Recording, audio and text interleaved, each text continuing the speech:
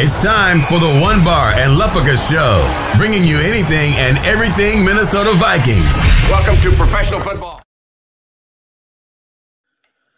All right, welcome back to the One Bar and Lupagus show. Just wrapping up Mike Zimmer's press conference.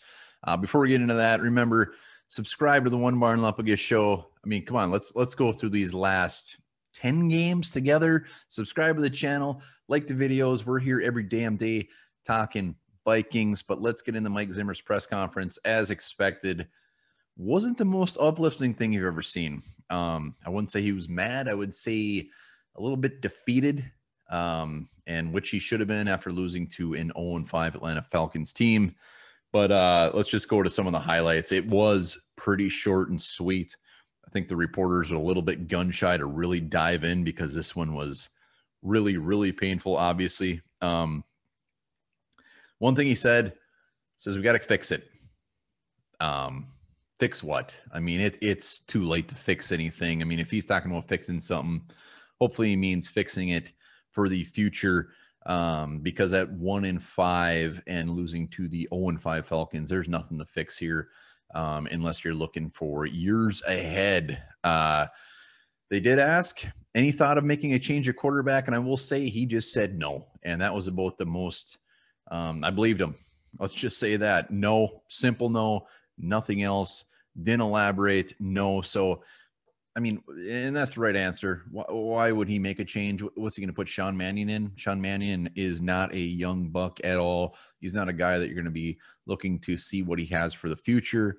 Um, we have two young guys on the practice squad that have no right playing quarterback in the NFL right now. So Kirk Cousins, barring an injury, he will be our quarterback going ahead. Um, Sean Mannion will not be seeing the field. So I'm actually glad he said no. Um, he he obviously said, you know, they didn't play very well. Um, he was at kind of a loss. Uh, someone actually asked him, "Are you at a loss as far as what went wrong?" And uh, he just he just kind of talked about some of the things that didn't go right. Just as far as we, we they couldn't run the ball, they didn't run the ball much. Um, the the young corners didn't challenge the receivers. He said the onside kick was terrible. He even pointed that out, but at that point, it wouldn't have mattered if it wasn't terrible. The game was over.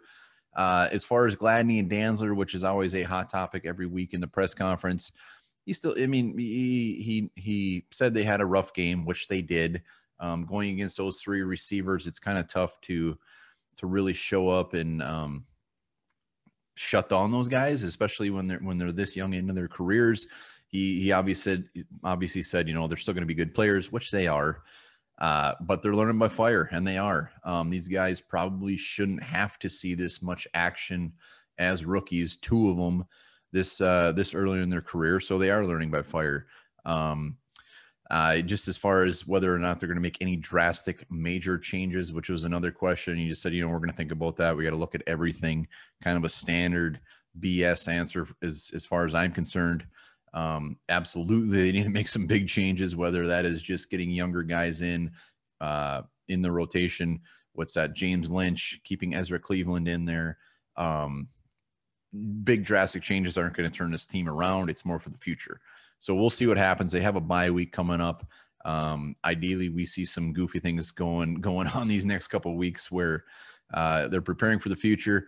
Um, Ezra Cleveland, he asked, you know, how, how, do you think he did? He said it was hard to tell. Inside guys during the game are hard to get a read on. He could have threw him a bone there. Ezra Cleveland, I thought, did very, very well considering it was his first action, first start, and uh, going against a pretty good defensive tackle in Grady Jarrett.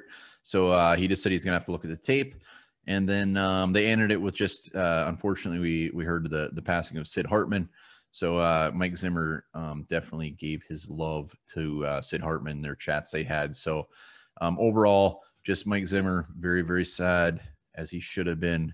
And uh, check out our video coming up later tonight as far as whether Mike Zimmer should be on the hot seat. So check that out. But um, Mike Zimmer is not in a good mood heading into that bye.